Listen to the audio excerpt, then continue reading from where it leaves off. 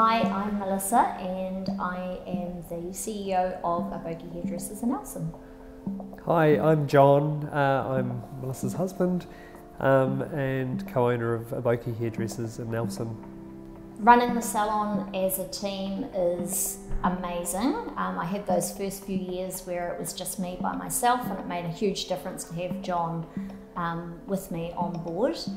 Absolutely, it's a, a fantastic to be able to be working and spending every day with Melissa.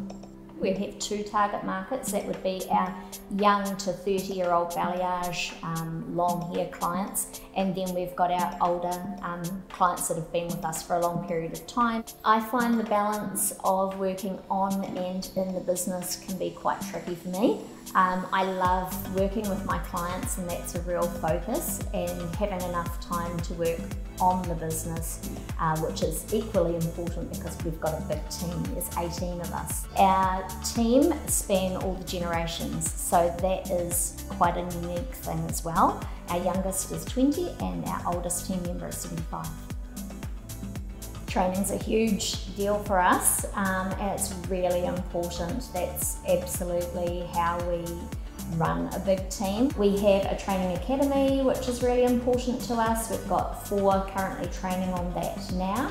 So um, every part of what they do in the salon is pulled apart and grown. Business success for us um, as a team is getting our stylists to achieve uh, their own goals, helping them on their journey to uh, start, start off as apprentices and work through to uh, experienced stylist um, has been amazing. Also success is having a more of a balanced life um, out of the salon.